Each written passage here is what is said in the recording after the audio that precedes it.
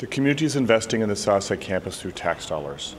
What I hope the community would know about the Southside campus is it's their campus. It's for students, it's about student success. Board 18 years, and I consider today to be one of the most critical, important days because the architect that we select today will set the, the process for developing a completely different campus than what we've seen in other places.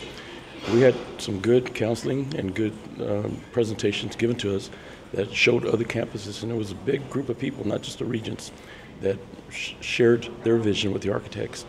So we're hoping that whoever we select today will lead us into the next century. It's great to see the growth. Uh, Del Mar is so important to this community.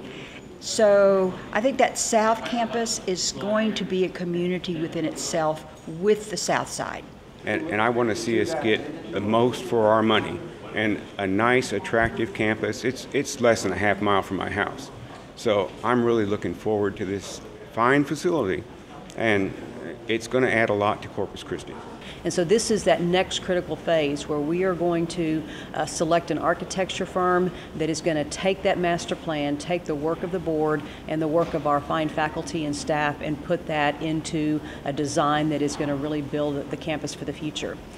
I'd like to see a campus that invites the students, students who maybe have not felt welcome at a campus before, but they'll feel welcome to come and be inspired with their dream to do something they hadn't um, had the courage to do before.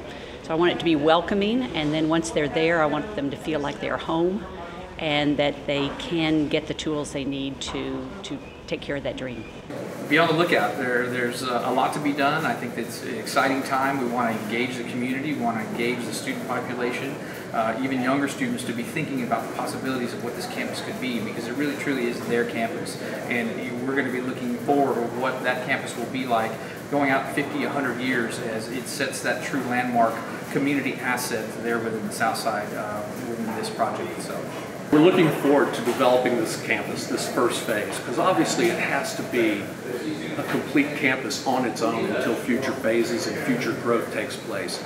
So we want to make this a very special place, not only for the students and the faculty, but also for the community. And this is really an asset for the entire community to use, whether you go to school there or not. And just all I can say is just wait and see what comes out of this next phase.